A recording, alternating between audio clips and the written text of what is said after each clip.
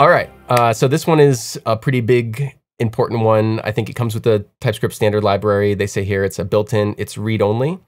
So we're gonna take an interface and make all of the properties of that interface read-only. It says here, constructs a type with all properties of T.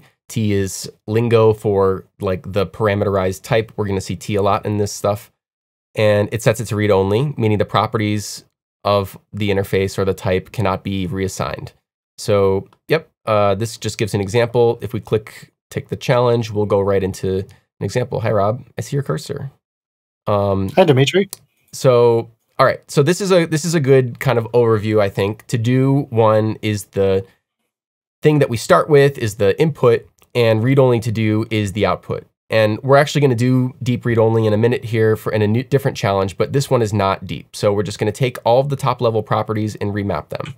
And we see here we have our tests. So Rob, what do you think we should, how, do you, how would you approach solving this? So immediately I'm looking over, looking at the properties. It looks like we need to map over these properties. Uh, all the all the property types are the same. So looks like we just need to add the read-only attribute all right. to each of these keys. Um, so we'll so have like start that. with an object. So you have okay. a read-only attribute. Read-only. And yep. we have a property in T. Mm-hmm. And I think we might need to do. Or key yeah, of, key of T. Yeah, right, right. Because we want to get the keys. Mm-hmm. And then we want to get the value for the property. Property. All right. Cool. And they all pass. So I think that's it. Um, one thing we can do that's always exciting uh, once you get something like this solved is to see um, is to see what TypeScript themselves did. Uh, here, we don't even need to complete it. So I, I, just typed it in and I hit F12. So this gets us to the built-in.